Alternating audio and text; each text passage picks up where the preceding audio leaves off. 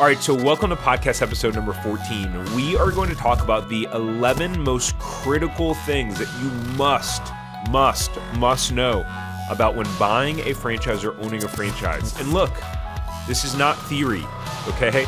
I learned these lessons over years of being a multi unit franchise owner myself, opening a location from scratch, literally from the ground up, uh, buying and turning around and then exiting a resale franchise, um, having consulted with hundreds of prospective franchise buyers over the last 18 months, and then also getting access to inside data and insider secrets to the franchise world over the last year or so.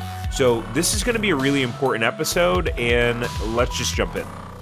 Welcome to the Zero to Profitable Franchise Podcast, the best place for you to come to figure out the right franchise to buy and how to get and stay profitable. My name is Tariq Johnson, and I've bought, grown, and sold multiple franchises and got myself free from corporate America. And now I'm on a mission to help you do that too. Here you'll find some of the most in depth, profitable franchise secrets, tangible strategies, and specific mindsets to help you create your dream life through franchising.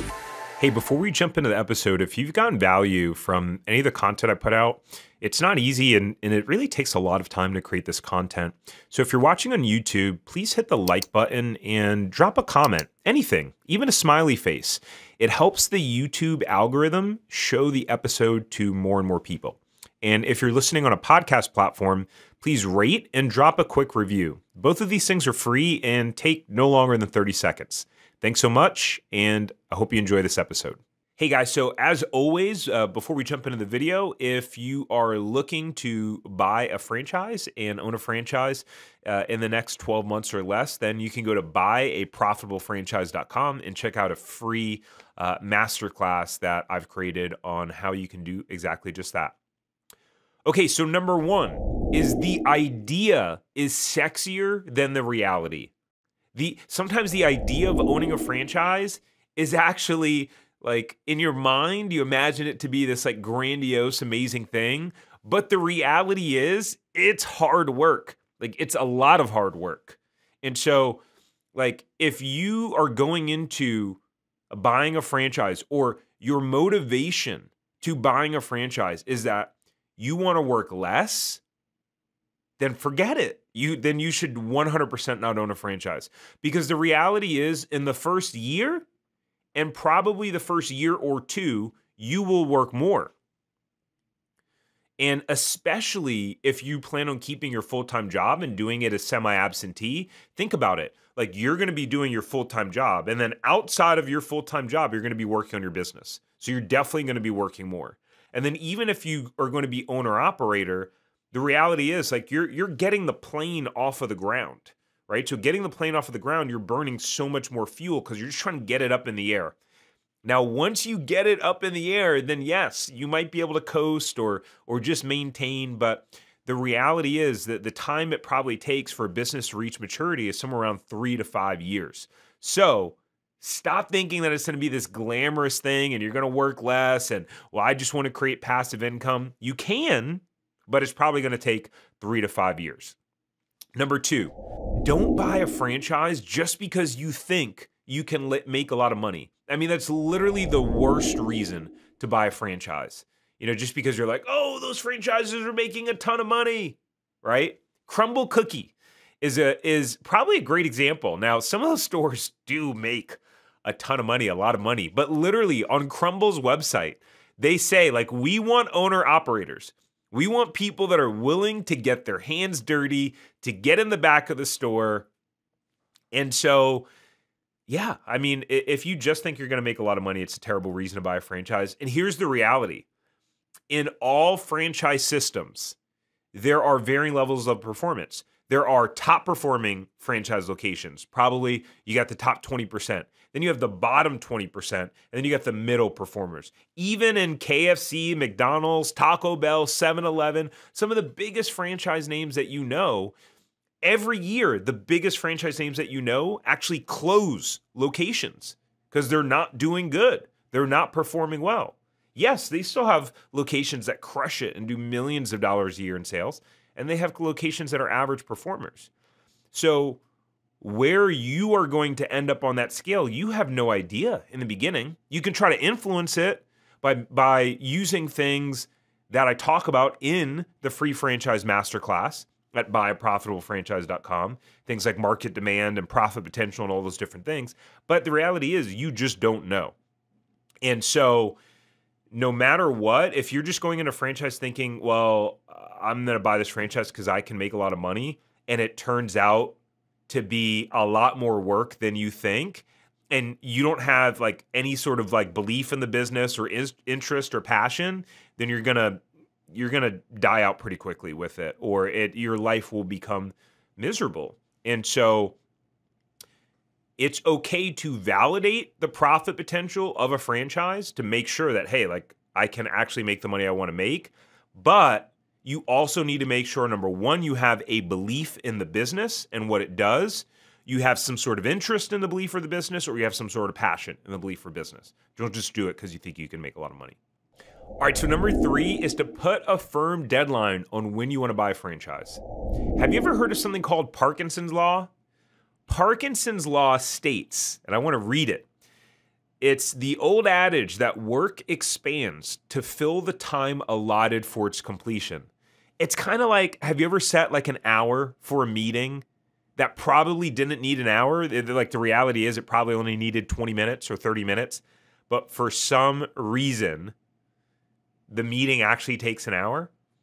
Well, what happens is that's Parkinson's law. Like the the work expands to fill the time allotted for it. Have you ever had a time where like you set a deadline for something like a month down the road or three weeks down the road, and literally like you do it on the last day because you procrastinated? So the point of this is when you put a firm deadline when you want to buy a franchise, then it forces you to have to make decisions and take action. Like I see so many people, I have people that reach out to me that watch the YouTube channel or listen to the podcast where like they've been looking at a franchise for a year, a year and a half, two years. And it's like, how could you be looking for two years? It's because you're just dabbling. like you never put a deadline, so you're just kind of like, like, like dibbling and dabbling throughout the process. And so there's also that analogy, right? That sharks will grow to the size of their tanks, right? So if you don't give yourself a timeline, no matter how impossible or unlikely it seems, you may never do it.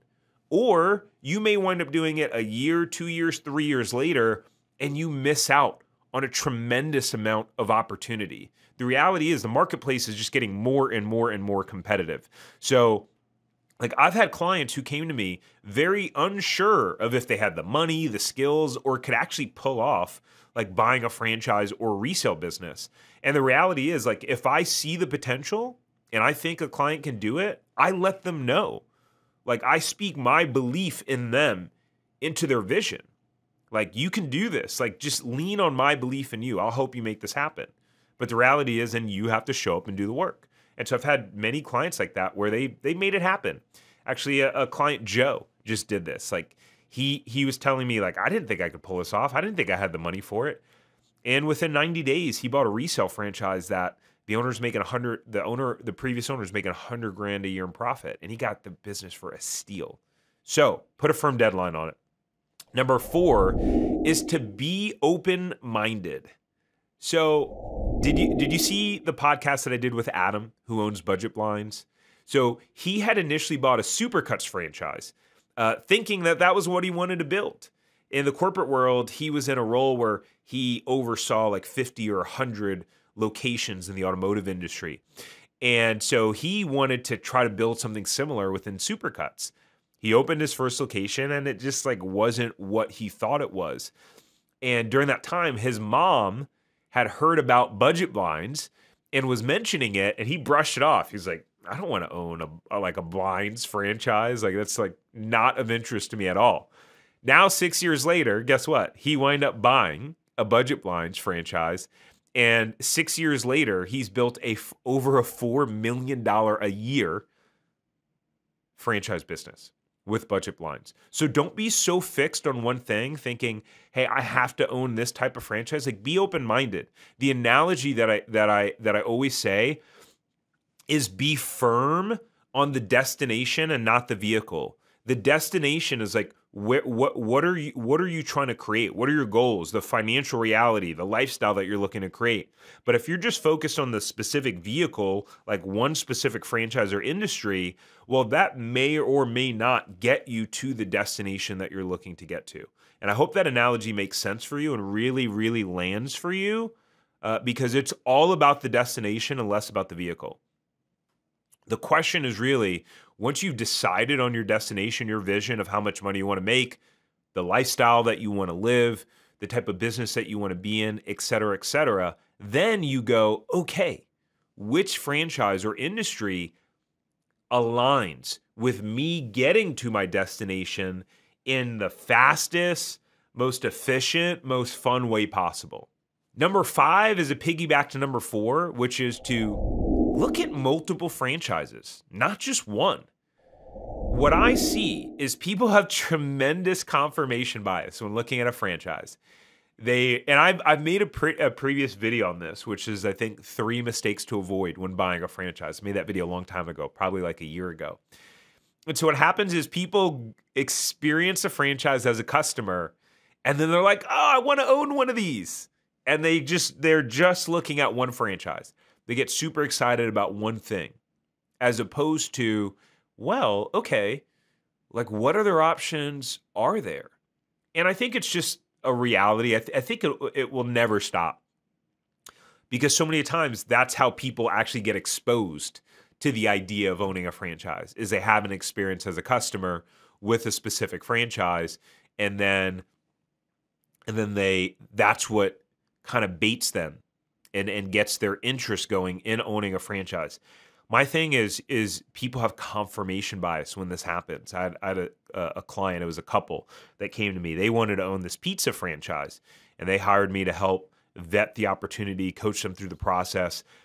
And I just told them a reality about the food business, and then just what questions to ask and things to consider they did that they went and did their own due diligence and then they realized oh crap like we actually don't want to own this franchise. And when they came to me by the way they came to me saying we've already made our decision like we are going with this franchise. My question was like why the heck are you reaching out to me if you already made the decision? I'm gonna i'm gonna coach you on how to vet it and rip it apart. And um fortunately they were coachable and that was the case. So don't just look at at at one franchise. Like look at a few different options so that you can compare and contrast. Oh, one more thing that I want to add about number 5 is for those of you who have ever hired someone or here's an analogy. You've hired someone, you looked at bought a car, you bought a house. Like have you ever had a time when you're buying a car or a house and you see the first one and you're excited about it, you're like this is the one I want to buy but then you're you you have other ones already scheduled to look at. And so you start looking at other ones and by the time you get to the third fourth fifth or sixth that first one that you were ready to buy is not even like number three on your list anymore.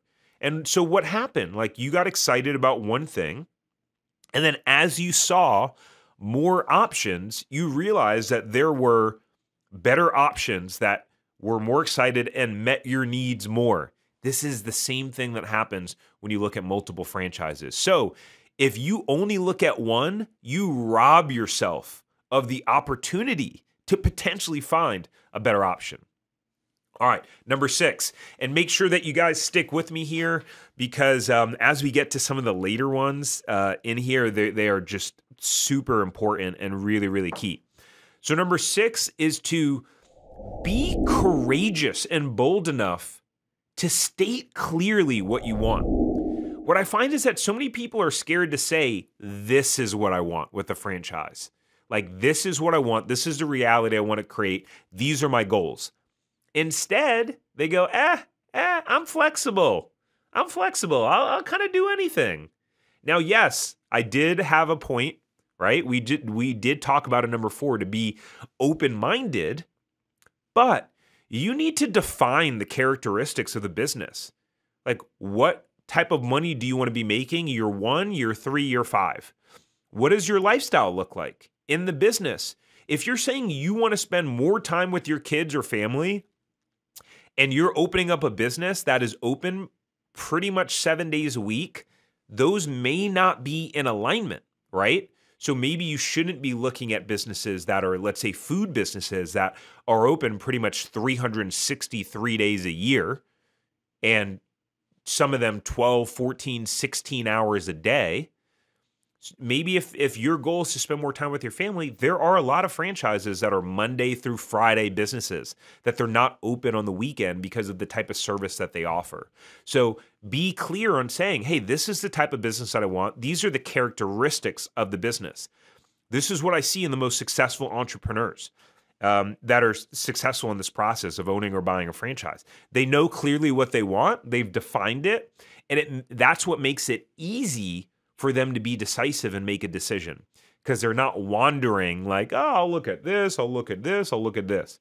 This is one of the key things that I coach and teach in my zero to profitable franchise system that I coach my clients through the, the program is how to narrow things down in the beginning by going through a process to state clearly what you want. So, number seven, just because you're scared, maybe even terrified, does not mean that you won't be successful, right? So, what happens for a lot of you in this process is you get so scared towards the end, like the reality of potentially using your life savings or your retirement uh, money or taking out a loan on your house. Like the reality of it and the business just really hits you. And no matter how gung ho you were or committed or excited, once it comes time to jump, like take the leap, you hit the eject button. The the fight or or flight kicks in. And a lot of people flight, unfortunately. And actually in number 9, I'm going to talk about something that can cause the flight to happen. But here's the thing. It's normal to feel terrified. Like, have you ever gone skydiving or, or done something like really terrifying? Like, you feel like this massive amount of terror, but then you do it and you're like, oh, okay, it actually wasn't that bad. And so use the fear to your advantage. Feel the fear, feel the the the the feeling of terror, but then use it to your advantage. And that's what I did. I was terrified opening the first franchise, but I used the fear of failure to motivate me. So I just worked that much harder. I was like that much more persistent and focused because for me, failure wasn't an option. And the reality is, if you don't pull the trigger because of fear, if you don't buy a franchise or wind up owning a business because of fear, you'll live with the regret and that feeling of what if, which in my opinion is worse than if you fail. Like constantly thinking like, what if I did it? Or then actually seeing the franchise that you wanted to open, like open in your area, and seeing them crush it. And you're like, man, that could have been us. Then to piggyback off of that, number eight is just because you feel confident and sure or excited doesn't mean you will be successful. So this kind of goes back to the confirmation bias sometimes there's people that I talk to where they're like, I'm doing this franchise, I'm super excited about it, I'm gonna make so much money. And they just have unrealistic expectations in terms of the amount of work that they're gonna have to put in, the reality of it, like all of the points that we talked about prior to leading up to number eight. So just because you feel like gung ho about it doesn't mean you will succeed. Like there are people that get way too excited, don't do their due diligence, and then uh, doesn't work out. So one of the key things I tell my clients when I work with them, like even if it's a franchise that I've recommended to them, I'm like, look, you still need to do your due diligence. Like I actually want to start like talking talking them out of it. Or I just want you to know the reality of what it takes. Like know the reality. That's why franchisee validation calls are so so key. So you should proceed with some level of caution, do your due diligence, but then be aggressive and decisive once you've actually done your research. Okay, so number nine, number nine, this is a really, really important one. Do not switch jobs while looking for a franchise. do not switch jobs while looking for a franchise. Here's the reason. Number one, you want to keep your work history because as you go to get a loan, if you need to get a HELOC throughout the throughout the process, a home equity line of credit or an SBA loan, like you want to make sure you have that work history. Um, so that's for one reason. But the main reason is what I've what I have learned in talking to hundreds of you is that the one of the primary drivers to you wanting to own a franchise is that you don't feel fulfilled or happy at work. There's something about you that that you feel like something is missing or you feel frustrated or fed up with the corporate world. And it's because of that feeling of frustration and feeling like something's missing, that pain and is causing you to be motivated enough to do something as crazy as invest hundreds of thousands of dollars to open a business. And so the analogy that I use is it's like a pressure release valve. Like that that pressure of you not being happy, not being fulfilled, and that desire of wanting to own your own business, it's like pressure building up in a pipe. And that pressure is continuing to build and build and build. And at some point, the pressure has to be relieved, or you know, there's going to be an explosion. Like the explosion could be a variety of things: quitting your job, like having an anxiety attack, depression, all sorts of things. But when you switch jobs and get a new job, here's what happens. You release the pressure from the pressure release valve, and all of a sudden,